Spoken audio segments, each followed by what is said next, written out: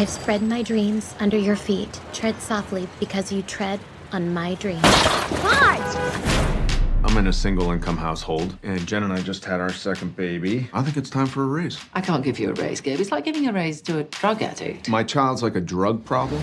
You're fired. You're fired, obviously. Oh, you must be McCreary. Oh, wow. You're fired. She's coming back.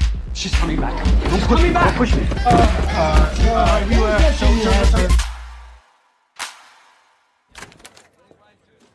Who are you? I'm Molly. I'm a new writer. You want to sit down? Okay. That's where Mendelssohn sits. Could you sit down, please? Oh, I'll just use uh, this trash can. There's, you know, there's hardly any trash in it at all. Oh, it's kind of comfortable, better than a chair. That's our show, everyone. I came to tell you this year is your last. What? They can't replace you if everyone loves you. Do none of you understand what is at stake here? I am being replaced. Think about why the show is bad and come up with ways to fix it.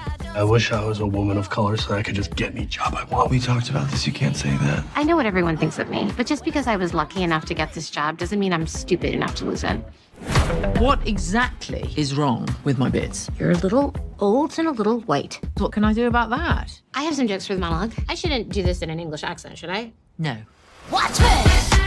This is your show. It's an expression of who you are. How would you describe Molly? She said I was a vibrant splash of color on the gray canvas of our writing staff. I mean, whoosh.